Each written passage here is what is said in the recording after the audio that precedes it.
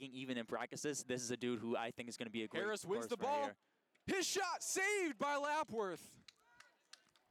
Carnival pressured, knocked away. Oh, and a poor clearance. Ka's got it, and he scores. Aliun Ka puts the big red on top.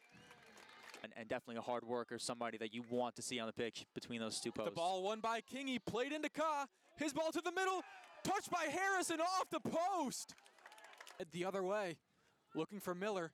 He's got room on the counter. Connor Miller to the foot of Samways inside the box. His shot saved by Lapworth.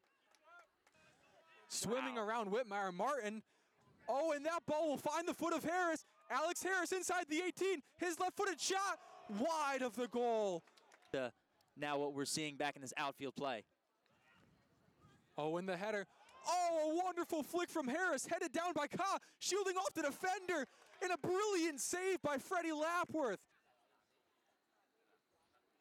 Harris again the run, chested down. Alex Harris flicked up to Ka and put in the back of the net. Off the shoulder there. Great first touch. Oh, and here's Nate Hoven. The game's not over. Contact inside the box. His cross to Latona. Played to Fair. Balaj Fair at the buzzer.